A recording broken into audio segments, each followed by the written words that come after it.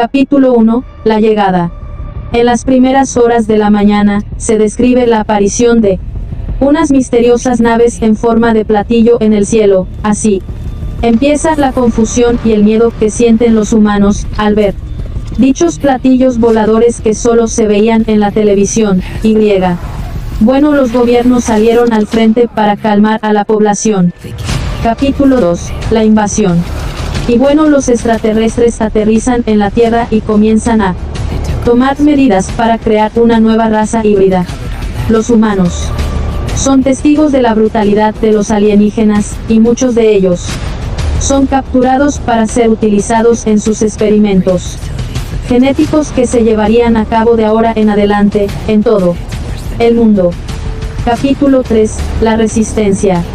Al cabo de una semana los humanos comienzan a organizarse y a luchar contra los invasores se crea un grupo de resistencia, liderado por los ejércitos de todo el mundo, y se llevan a cabo ataques tácticos en contra de la base de los alienígenas, que estaban atacando y esclavizando a los humanos, y los llevaban a sus instalaciones para hacer los experimentos. Capítulo 4. La huida. Y bueno después de varios intentos fallidos de atacar las bases de los extraterrestres, los ejércitos de todo el mundo deciden huir a una ubicación segura.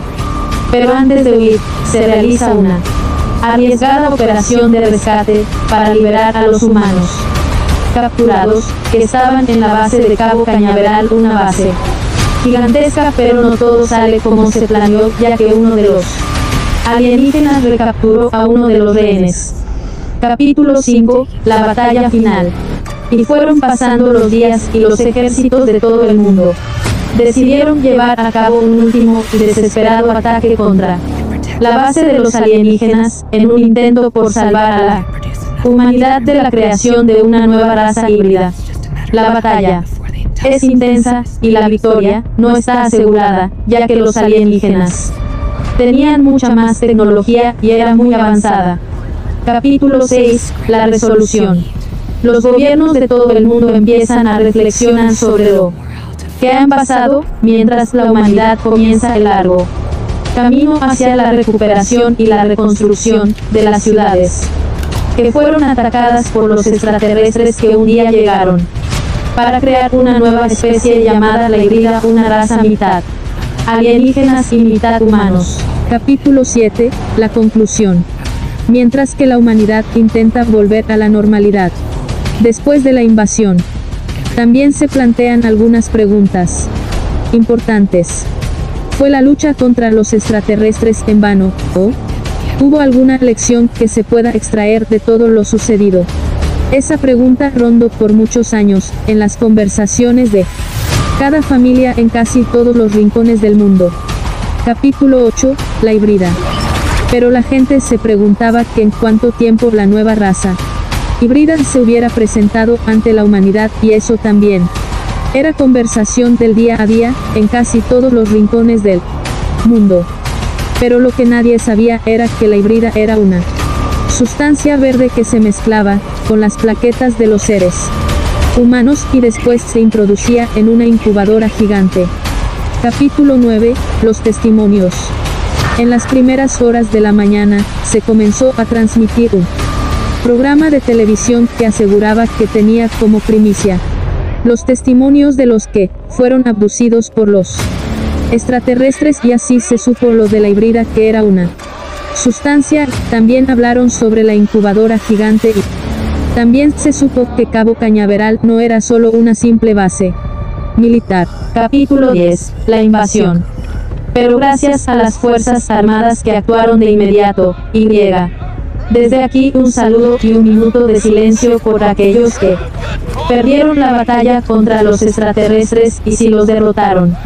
Gracias al proyecto Abigail, un proyecto que funcionó no de manera inmediata, pero sí funcionó y eso es algo muy tranquilizante para la población, que estaba aterrada por semejante acontecimiento. Capítulo 11. La resistencia. Al cabo de una semana los humanos comienzan a organizarse y a luchar contra los invasores. Se crea un grupo de resistencia, liderado por los ejércitos de todo el mundo, y se llevan a cabo ataques tácticos en contra de la base de los alienígenas, que estaban atacando y esclavizando a los humanos, y los llevaban a sus instalaciones, para hacer los experimentos. Capítulo 12, la huida no es una opción. Y bueno después de varios intentos fallidos de atacar las bases de los extraterrestres, los ejércitos de todo el mundo deciden huir a una ubicación segura. Pero antes de huir, se realiza una arriesgada operación de rescate, para liberar a los humanos capturados, por una de las razas más peligrosas del universo. Capítulo 13, volverán algún día. Pero bueno, pasan los meses, y la gente se pregunta, ¿volverán los extraterrestres? Y esa es una pregunta muy frecuente y de verdad. Que hay gente que tiene hasta planes de cómo actuar ante otra posible invasión, pero ya hablando en serio, si hay gobiernos que se reúnen en secreto para enviar sondas para rastrear a esa raza. Claro, no querían contactarlo, solo saber dónde están esas cosas. Aterradoras. Capítulo 14, el planeta 7X. Y si los encontraron en un planeta errante que viajaba a gran velocidad y si esa cosa media 10 veces más grande que el planeta Tierra, pero bueno los estuvieron observando por meses y decidieron dejar de observarlos porque hubo una alerta interna porque perdieron el contacto con el sonda del observatorio y por eso los dejaron de observar, y sí se olvidaron de los extraterrestres. Pero la historia de la invasión extraterrestre fue de generación en generación y esto se hizo para armar un protocolo de seguridad anti-extraterrestre y este protocolo es mundial, Y. Todos los años en la misma fecha de la llegada, se hace un simulacro con el protocolo.